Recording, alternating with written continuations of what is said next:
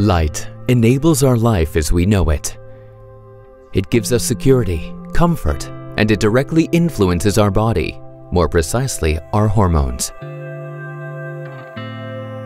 In 2002, special retinal ganglion cells were discovered that do not have a visual function. They register only the brightness in the environment.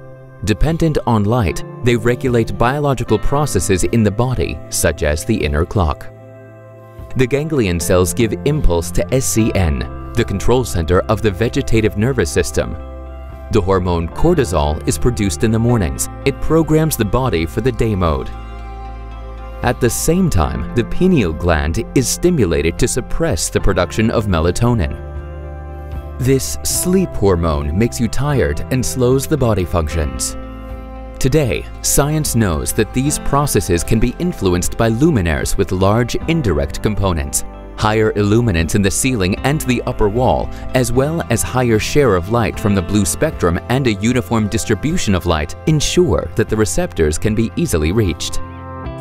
We know that light has a key function for our hormones in the body, such as to regulate the inner clock. And this knowledge is what we must now implement in the lighting technology. Waldmann implemented this knowledge in close cooperation with Herbert Plischke, professor for light and health at the Ludwig-Maximilians-Universität in Munich. Pulse VTL was thus created it's an innovative light management system that brings biodynamic light to the workstation.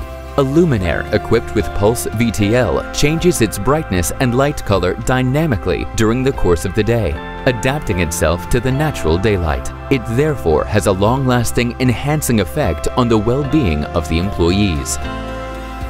The hormone cortisol is produced in the body in the mornings. It programs the body for day mode, Pulse VTL supports this activity through stimulating cold-toned light and high illuminance.